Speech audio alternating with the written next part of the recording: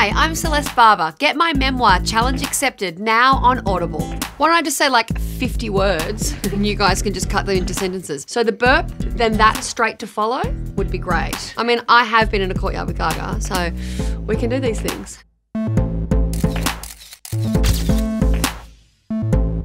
It's quite interesting how big it has become and how celebrated it is in the industry that I am mocking and I it's really nice. Like uh, this thing I was at last night was just all cream of the crop, and I was like. Yeah, I mean, Lady Gaga was there and she was like, Celeste, I love you. And I was like, shut up! Just screamed that at her. It, it was amazing to see how uh, it's kind of come offline a bit. I'm not just on Instagram doing funny photos anymore. I'm, it's fleshing out. I'm hosting events and I'm at doing more stand up. It's exactly what I want it to be doing. No one looks worse in those photos than I do. I'm not, and that's the, that's the aim.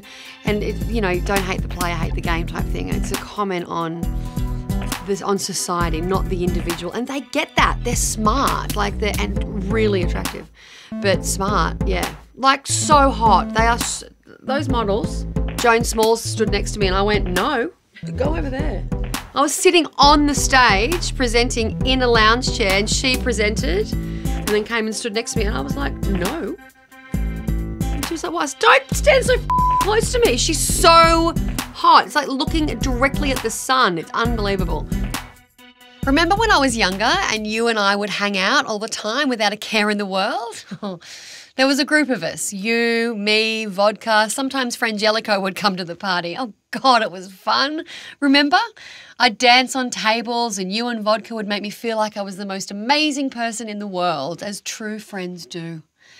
I'll never forget the warmth that Frangelico gave me on those cold nights. Have you spoken to Fran lately? I haven't seen him in years. God, they were good times. Just the awesome foursome.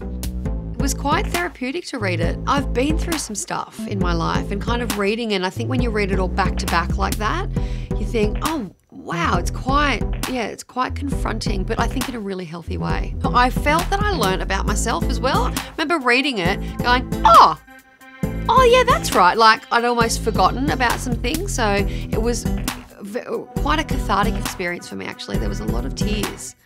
People should listen to Challenge Accepted as an audiobook. It's really funny. It's it's a fun it's fun to listen to. Like when I was reading it, I had a lot of fun doing it, and I kind of do all character voices, and I I really invest in it, and and I hope people I hope people get a lot out of hearing me read my story.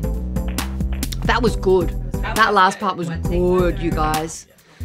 Really good.